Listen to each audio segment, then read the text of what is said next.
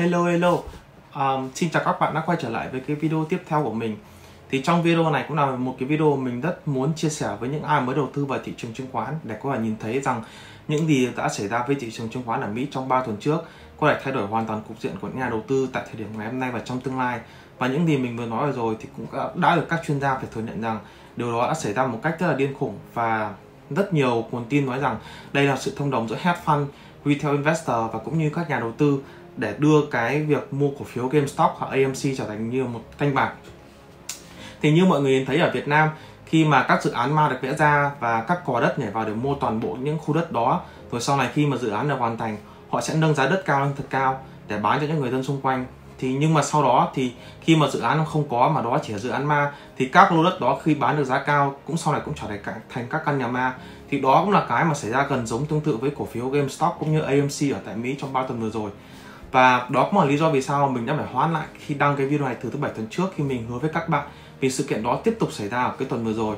Và trong, đúng ra theo dự định của mình thì trong video ngày hôm nay mình sẽ muốn chia sẻ với mọi người cách mở tài khoản quét trade cũng như cách để chọn mã cổ phiếu, cách để nhìn đánh giá công ty trước khi đầu tư. Tuy nhiên, trước khi làm cái đó thì mình muốn chia sẻ với mọi người, đặc biệt là những bạn nào mới đầu tư vào thị trường chứng khoán để xem cái rủi, ro của penny stock như nào khi các bạn nhìn nhận cái sự kiện xảy ra 3 tuần vừa rồi ở Mỹ và từ đó các bạn có rút được kinh nghiệm. Và trong cái video này mình sẽ cố gắng kết nối những cái bằng chứng và các góc nhìn của mình một cách kỹ nhất có thể để giải thích cho mọi người một cách đơn giản nhất để hiểu điều gì đã xảy ra đang thị trong thị trường chứng khoán và liệu có ai đứng sau thao túng toàn bộ cái việc giao dịch mua và bán của thị trường chứng khoán hay không nha. Thì khi mà nhắc tới chứng khoán thì ai cũng phải biết rằng một nơi an toàn nhất mọi người có thể đầu tư đó là mutual fund index fund hoặc là các mã cổ phiếu lớn hoặc là S&P 500 thì đây là những nơi mọi người đầu tư, nhưng tuy nhiên cái lợi nhuận mang lại rất là thấp. Và thường sau một một, hai năm 5 năm 10 năm thì mọi người mới nhận được tiền return cũng như là tiền lãi suất khi mọi người đầu tư vào các cổ phiếu này. Tuy nhiên, những gì xảy ra trong ba tuần vừa rồi nó giống như một cách bạc. Đó là mọi người cược vào một cái cổ phiếu và nó phải tăng một cách gấp 10 lần hay là tăng một ngàn phần trăm chỉ sau một đêm. Và điều đó trước khi đi chi tiết thì muốn muốn giới thiệu với các bạn một cái trang gọi là Wall Street Bet thì cái này thuộc Reddit. Thì trong cái trang này ấy, thì uh, nó như là một trang mạng xã hội á thì có rất nhiều một cái nhóm nhỏ về công nghệ y tế giáo dục tất cả những gì trong xã hội. Nó giống như Facebook á nhưng có một cái trang gọi Wall Street Bet. Thì trong cái trang này ấy, thì có rất nhiều nhà đầu tư giỏi. Lẫn những nhà đầu tư tệ thì họ vào đây họ trao đổi thông tin với nhau các mã cổ phiếu mã nào nên mua mã nào không nên mua. Thì cũng giống với việc ở Việt Nam khi mọi người thường trao đổi với nhau là đi đánh đề thì uh, mã đề này ngày mai có thể đưa cho các bạn uh, gấp 7 lần gấp 10 lần hay mã đề nào. Uh, mình mơ thấy cái này và mai mình đánh mã đề đó thì y xì trong đó. Nhưng mà nó sẽ có một sự trộn lẫn giữa chia sẻ thực và chia sẻ ảo. Và trong cái nhóm này thì trong 3 tuần trước đã tồn tại hai cái nhóm. Nhóm thứ nhất thì họ đánh cược với nhau rằng giá của GameStop hay cũng như AMC nên mua ngay tại thời điểm 3 tuần trước. Và chỉ sau một tuần giá của nó có thể tăng gấp 1.000% và tại thời điểm đó họ có thể bán để lấy lợi nhuận. Nhưng có một nhóm thứ hai thì họ tin tưởng với nhau rằng tại thời điểm khi mà họ tăng đến 1.000% rồi, hay thậm chí tăng gấp 10 lần, thì giá cổ phiếu của nó sẽ giảm lập tức ngay, sẽ giảm ngay lập tức và chỉ lại trở lại vị trí như bình thường. Và khi giá cổ phiếu trở lại vị trí như bình thường thì một số bạn có thể hỏi, ủa, nếu mà giá mà giảm đột ngột như vậy tại sao phải mua? Không, điều này đã dẫn tới một định nghĩa là short selling. Và khi short selling ở đây là gì khi mà giá cao một cách đột biến và nó giảm một cách đột biến thì hedge fund sẽ nhảy vào để cover toàn bộ cái chi, cái vị trí đó để họ lấy lợi nhuận. Nghe tới đây thì một số các bạn đầu tư có thể hơi bị dối đó là thường thì các bạn phải làm chủ một cái gì đó, bạn mua một cái gì đó và bạn bán để lấy lợi nhuận. Nhưng đây là bạn không làm chủ một cái sản phẩm này đó, nhưng bạn vẫn có quyền bán và bạn vẫn có quyền lấy lại lợi nhuận thì điều này hơi confused đúng không ạ? Ok, vậy để mình đi vào chi tiết hơn nha. Rồi, thì trong video ngày hôm nay thì cái mình muốn chia sẻ với mọi người đó là gì? Mình sẽ nói cho mọi người biết hedge fund là ai, retail investor là ai, các nhà đầu tư là ai và short selling là gì? Để mọi người có một cái hiểu dễ hơn về day trading như nào và cũng như nhà đầu tư mới đầu tư vào thị trường chứng khoán có thể hiểu được các hình thức nào đang xảy ra với penny stock trên thị trường chứng khoán để mọi người có thể rút ra một kinh nghiệm một cách tốt nhất trước khi đầu tư vào một mã cổ phiếu mà nó không theo một cái um, tuyên chỉ nào về financial statement hay cũng như là các cái new để có thể giúp mã cổ phiếu đó tăng một cách thần kỳ. Ok, rồi tới đây các bạn sẽ hỏi mình short selling là gì. Thì đơn giản là như này. Bạn mua một chiếc điện thoại tưới Nga và chiếc điện thoại đó giá 400 và bạn hứa sẽ lại trả lại cho anh đó trong một tuần. Thì sau khi Nga đồng ý đưa điện thoại cho bạn bạn bán những chiếc điện thoại đó cho dealer hoặc market maker tại giá 400 đô, vì đó là giá thực của chiếc điện thoại đó. Tuy nhiên bạn tin rằng giá của nó sẽ giảm trong tương lai vì một sự kiện nào đó. Do vậy, ví dụ sau một tuần giá thị trường của chiếc điện thoại đó giảm xuống còn 300 đô chẳng hạn thì khi lúc khi lúc này xảy ra, bạn mua lại chiếc điện thoại đó tại dealer giá 300 đô và vì bạn đã bán cho dealer tại giá 400 đô. Do vậy bạn sẽ có được lãi là 100 đô cho một sản phẩm bạn đã bán hoặc mua lại từ dealer.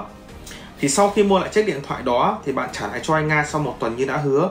Và đó chính được gọi là short selling, ngoại trừ việc bạn phải trả lãi suất cho anh Nga với giá 20 đô trong tuần vừa rồi. Thì vấn đề xảy ra là gì ạ? Nếu sau một tuần giá chiếc điện thoại tiếp tục tăng lên giá 500 đô và khi vậy, bạn sẽ lỗ 100 đô cho việc nếu bạn mua lại chiếc điện thoại đó từ dealer và trả lại cho anh A. Nhưng mà cái vấn đề sẽ xảy ra to lớn hơn là gì ạ? Nếu giá chiếc điện thoại đó cứ tiếp tục tăng và sẽ có rất nhiều người như bạn trên thị trường chứng khoán đang mua đi bán lại chiếc điện thoại này cho người khác, thì điều này sẽ làm biến động giá cực lớn cho sản phẩm, cũng như là mã cổ phiếu do demand cao supply. Và chính tại thời điểm này, người ta gọi đây là short selling nha thì như mọi người có thể thấy, mình đã giải thích cho mọi người short selling là gì. Và vì lý thuyết như vậy, do vậy có rất là nhiều người tin tưởng rằng khi mà họ mua game stock tại tại thời điểm 3 tuần trước, ai cũng tin tưởng rằng giá của nó sẽ tăng lên một cách 3x 5x thậm chí 10x mà không dựa vào cái fundamental nào cả.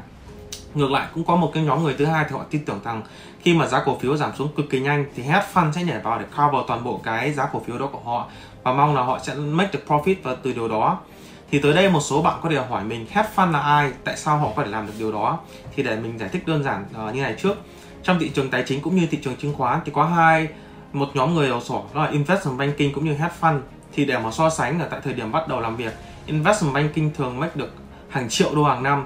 Khi mà so sánh với hedge fund thì tại thời điểm bắt đầu họ không làm được hàng triệu đô một năm nhưng khi về long term họ phải làm được hàng tỷ đô một năm. Thì đó ngay từ điểm xuất phát điểm thì hedge fund là người mà có thu nhập cực kỳ cao thì hedge fund thường làm gì ạ? Hedge fund thường lấy tiền từ các pension fund, mutual fund hay có lấy tiền từ nhà giàu để họ mang đi đầu tư. Cái goal của họ là gì ạ? Họ sẽ mang tiền của người giàu đi, đi đầu tư và với nhà giàu expected từ họ đó là họ phải đầu tư và mang lại lợi nhuận cho họ thì đó chính là công việc hàng ngày chính của hedge fund cũng như một vài chi tiết khác thì mình có thể làm một cái video tiếp theo trong sau này trong tương lai và điều đó sẽ dẫn tới việc là hedge fund có cực kỳ nhiều tiền bạn để có mà đầu tư được hedge fund thì mình nghĩ thật sự cực kỳ khó vì bạn thật sự phải có cực kỳ nhiều tiền để đầu tư với hedge fund và cái require của họ cũng cực kỳ cao. Do vậy với sinh ra định nghĩa là retail investor thì với retail investor ở đây thì bao gồm Robinhood, Wow Simple, Interactive Broker, ờ, ờ, uh, uh, Questrade hay là các broker các bạn có thể mở được với ngân hàng. Thì đây là các broker mà ai cũng có thể mở được và trade được. Còn với hedge fund thì cần có cực kỳ nhiều tiền. Do vậy thì ai cũng biết là hedge fund cực kỳ nhiều tiền và họ thực dùng số tiền đó phải có thể phá hủy được một cái công ty cực kỳ nhỏ tới tới một công ty cực kỳ lớn. Ví dụ như mọi người cũng biết chẳng hạn như là công ty nào mình có ví dụ công ty nào đó ví dụ một cái công ty Starbucks đi hedge fund họ có thể dùng tiền của họ để phá hủy toàn bộ công ty Starbucks được. Nghe có thể vô lý, nhưng thực sự đó là những gì xảy ra. Chẳng hạn như là Taurus hay là Hudson Bay hay là Sears như mọi người thấy đã shut đảo tại Canada, hay là Hudson Bay thì một số store bây giờ cũng đang gần đóng cửa rồi thì đó là những gì họ cũng có thể làm tương tự với GameStop hay cũng như AMC tuần vừa rồi. Vậy hedge fund đã làm gì hay công việc họ thường làm gì ạ?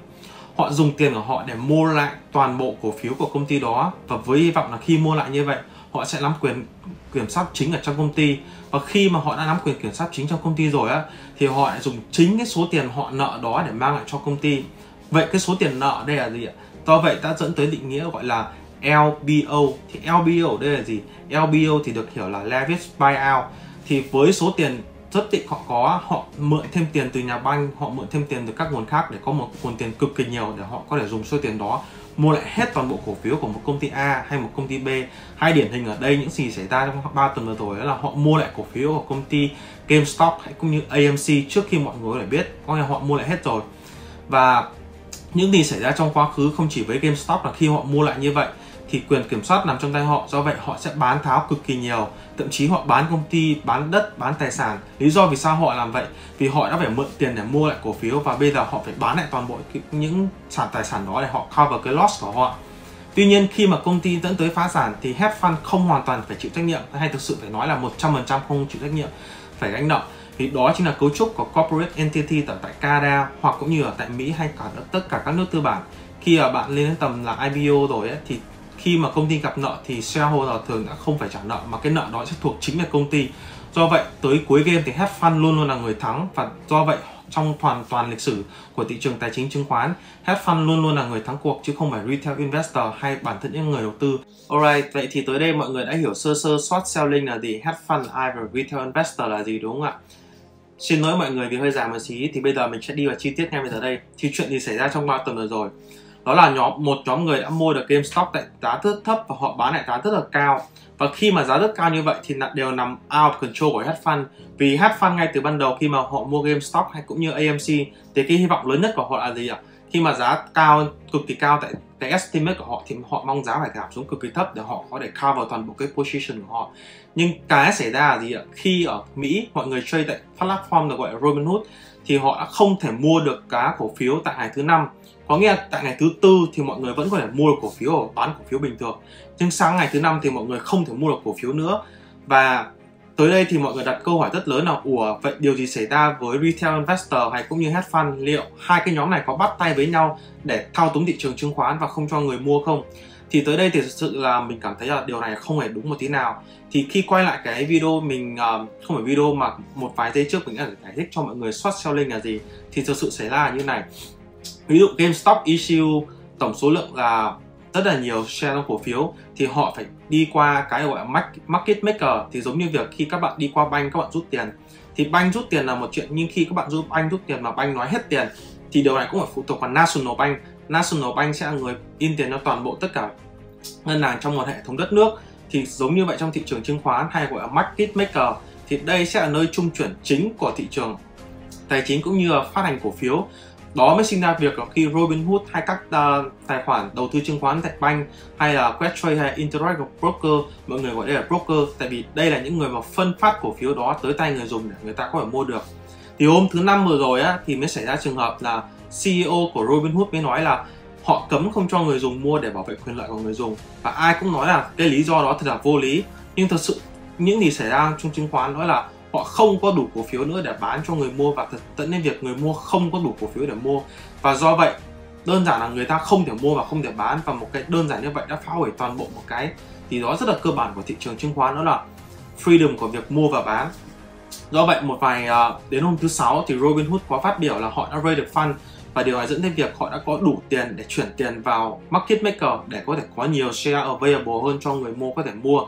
Và điều này dẫn tới việc là rất nhiều người phẫn nộ về cái sự mâu thuẫn này xảy ra và họ không chấp nhận được lời giải thích từ Robinhood và rất nhiều người đã nghĩ là đây đã có sự thao túng với hedge fund và retail investor. Do vậy đã dẫn tới việc là cái tuần tiếp theo của sự kiện đó ai cũng phải thấy là tất cả toàn bộ trên mạng trên mạng xã hội ai cũng nói là phải hold GameStop hay ờ, uh, AMC đừng bán và ai cũng muốn là phải giết chết hedge fund. Thì thật sự mình cảm thấy là điều này thật sự khó xảy ra vì thì tất cả đều under control của họ rồi thì đó là lý do vì sao mình nói đây là lần đầu tiên trong public mà retail investor có thể thắng. Thì tới đây thì chưa thể nói được biết là có một sự thông đồng nào với retail investor hay hedge fund ở đây. Vì cái lý do mình đã nói ở trước đó là không đủ số lượng share cho mọi người có thể mua trên thị trường. Do vậy um, Robinhood đã cấm người mua có thể mua được. Nhưng mà điều gì xảy ra tiếp đó là gì ạ? Trong cái tuần tiếp theo thì hedge fund cũng đã âm thầm đặt lệnh mua mã cổ phiếu trong ngày từ 100, 1 ngàn đến tới 1 triệu cổ phiếu. Cứ mỗi một giờ họ thực hiện một cổ phiếu một lần như vậy. Mục đích của họ là để tạo ra một cái sự sợ hãi hay tạo ra một cái event hay một cái không khí chung để tất cả người mua đang giữ cổ phiếu bây giờ có thể bán cổ phiếu đi thì cái sự nguy hiểm ở đây và cái lý do vì sao mọi người hộp gộp lại với nhau để giữ cổ phiếu là gì ạ vì khi mà giá cổ phiếu lên cực kỳ cao thì đồng nghĩa việc hedge fund không chỉ phải trả lợi là lãi suất cho việc họ mượn tiền để mua toàn bộ cổ phiếu của GameStop hay cũng như GMC, à, AMC mà họ cũng phải mua lại cái giá cổ phiếu đó tại cái giá cao hơn tại giá họ bán. Điều đó sẽ dẫn việc họ lỗ cực kỳ cao. Tuy nhiên thì cái tuần vừa rồi thì cổ phiếu đã quay lại như bình thường đã quay lại với giá như bình thường và mọi người đã không còn giữ ờ, ờ, uh, um, AMC hay cũng như uh, GM uh, ờ, GameStop nữa. Thì thật sự sự việc tới đây thì vẫn chưa được điều tra một cách chính đáng và vẫn chưa có ai có thể nói khẳng định được là sự thao túng này là nằm dưới tay của hedge fund do họ mua toàn bộ cổ phiếu của GameStop và họ đã thao túng thị trường. Hay là retail investor cấm người mua không thể mua được, dẫn tới việc Robinhood cũng cho, không cho người mua có thể mua được. Hay dẫn tới việc là phẫn nộ là tất cả mọi người đều muốn hold cái cổ phiếu của GameStop cũng như AMC và không muốn bán ra thị trường để mục đích là họ phá hủy cái trò chơi của hedge fund rồi, thì nói tới đây thì cũng kết thúc video rồi. Thì mình cảm thấy là video này là video ngắn nhất của mình chia sẻ từ hồi mình làm vlog tới giờ. Thì tại thời điểm này thì mình muốn gửi một lời chia sẻ một chút tới các bạn nào mới đầu tư chứng khoán là gì ạ? Nếu các bạn muốn đầu tư chứng khoán và các bạn thực sự coi đây như một cái passive income, các bạn muốn đầu tư một cách nghiêm túc để có một nguồn thu nhập ổn định, thì thật sự mình khuyên các bạn tránh xa khỏi penny stock là tránh xa khỏi những bạn đăng nào trên Facebook và nói các bạn nên mua penny stock này. Và khi các bạn check biểu đồ tài chính, check các technical analysis. Về các kỹ thuật này thì mọi người có thể check ở cái video thứ hai, thứ ba của mình thì mình sẽ để ở phần miêu tả ở link phía dưới nha. Thì khi các bạn đầu tư vào các cái penny stock này á, với các bạn mới đầu tư thì thật sự mình nói các bạn nên tránh xa. Lý do vì sao ạ? Đầu tư penny stock hay day trading thì giống như các việc các bạn chơi gamble vậy. Giống những gì xảy ra với GameStop hay AMC thôi tại vì những cái gì xảy ra với đó thì stock cần phải có một thị trường. Và khoảng một khoảng thời gian nhất định để giá cổ phiếu đó có thể tăng lên. Nó không thể tăng lên nhân 2 nhân 5 từ 9 nhân 10 chỉ chỉ sau một đêm được. Và nếu không có một new nào xảy ra mà nó tăng như vậy thì điều đó một thật sự vô lý xảy ra. Và đó thật sự giống như thì các bạn đang chơi cờ bạc. Do vậy, điều khuyên thứ nhất mới đầu tư tránh xa penny stock. Điều khuyên thứ hai là gì? Là gì ạ? Khi thật sự các bạn muốn đầu tư chứng khoán thì các bạn cũng phải cân nhắc rõ broker nào thực sự cần thiết để có giúp các bạn đầu tư thì trong một vài ngày vừa qua rất nhiều bạn gửi tin nhắn về cho mình không chỉ trên Facebook, Instagram cũng gửi về email mình nữa. Ví dụ như một người nhờ broker phổ biến nhà ai biết đó là Well Simple. Thì rất nhiều người nói mình là giá của Well Simple chậm hơn so với market hay là họ không mua được các penny stock này trong khi broker khác mua được. Thì thật sự mình nên nghĩ các bạn nên cân nhắc một cách kỹ lưỡng.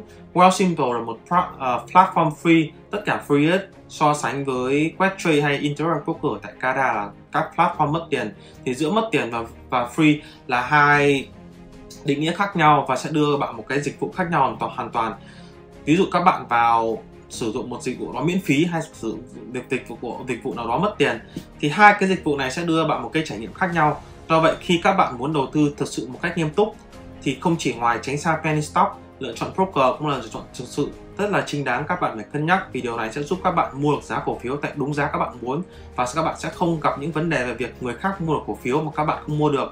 Thì về các broker nào tốt nhất ở Canada thì các bạn có thể check ở video thứ um, 3 của mình. Ok thì đó là hai lời khuyên đơn giản của mình thôi. Thì khi các bạn đầu tư stock thì các bạn cần phải take time đừng có vội. Đây là các bạn đầu tư chứng khoán chứ không phải chơi chứng khoán chơi chứng khoán giống việc chơi cờ bạc, các bạn ra sòng bạc, các bạn đặt tiền. Một vài phút sau các bạn có tiền. Đầu tư chứng khoán, các bạn phải đầu tư nghiên cứu, hiểu công ty, hiểu công ty làm gì, công ty hoạt động như nào, nguồn thu chính của công ty là gì. Và từ đó phải cho cái giá cổ phiếu đó tăng theo thời gian để các bạn thu lại lợi nhuận. Thì tới đây là hết video của mình. Chúc các bạn may mắn về việc đầu tư trong tương lai. Nếu các bạn thấy hay thì hãy like, share cũng như subscribe video của mình nha còn trong tương lai, các chủ đề nào các bạn muốn thì có thể comment ở phía dưới. Dự định của mình trong tương lai thì mình sẽ chia sẻ với mọi người kỹ hơn về finance cũng như là chẳng hạn như mình nhắc trong video investment banking hay hedge fund về ngành tài chính kế toán ở tại Canada. Đợt tới là sắp tới kỳ khai thuế thì mình cũng nhận khai thuế tất cả các bạn du học sinh đang học tập, tạm biệt không chỉ ở Vancouver mà tất cả các tỉnh bang khác. Thì các bạn có thể gửi tin nhắn cho mình về địa chỉ Facebook cũng như Instagram để nhận được những lời khuyên miễn phí cũng như lời khuyên bổ ích cho các bạn trong việc khai thuế nha. Ok, cảm ơn mọi người đã ở lại video tới cuối. Xin chào và hẹn gặp lại vào thứ bảy tuần sau. Bye bye.